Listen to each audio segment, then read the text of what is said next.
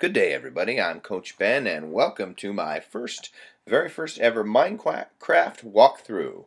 I am trying to get out there on the digital playground and do some recess duty, and here I am in my very first Minecraft one brick red schoolhouse, as you can see. Of course, it's not quite your traditional red schoolhouse, but uh, hopefully it's a little bit of an homage to it.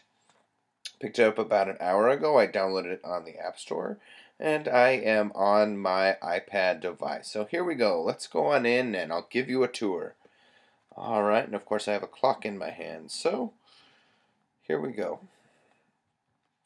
And right when you come in here, shut my door after me, you can see some cubbies upon entering. And here you have some cubbies along not only with cubbies, but books. Now this functions for two purposes. Not only is it a cubby, it is also a little bit of a divider. Oops, kind of getting caught in my own schoolhouse. So on the other side of the cubbies, the first thing you're going to see is you're going to see a little bit of a traditional student classroom. Um, students are grouped in fours, tables of four, and of course you can see I have a, a small class, but doesn't mean they're all there. Um, I have two whiteboards, one here and one here, which are also serving as projectors. Up here in the tops, you can see these power crystals with the glowing blocks are the projectors. So I'm going to have two of those so I can really even have students present their information or I can present my information on too. Um, over here, again, it's a little bit of a library, and in the library you can see hopefully a cozy, relaxing couch where students are going to be able to sit back and dive into a book. Now, over here in my next section of my schoolhouse, I have a carpet. Of course, uh, I never think kids are too old for carpet, but um, gives me a little extra room and gives the kids a little chance to move around the classroom. And again, you can see the projector and again on the whiteboard. Now if you notice, I tried to include quite a bit of natural light and windows in the reading areas, but the rest of the classroom is really surrounded by whiteboard, including these tables. Um, these tables would be places where students could actually use uh, whiteboard markers to collaborate.